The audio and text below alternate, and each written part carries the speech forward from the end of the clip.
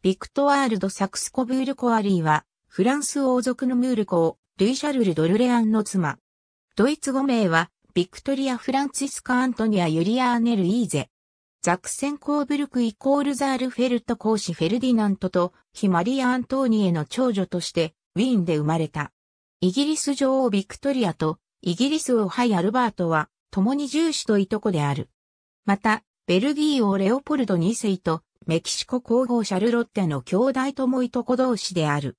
1840年4月27日、サンクルーで、ヌムール公、ルイ・シャルル・ドルレアンと結婚した。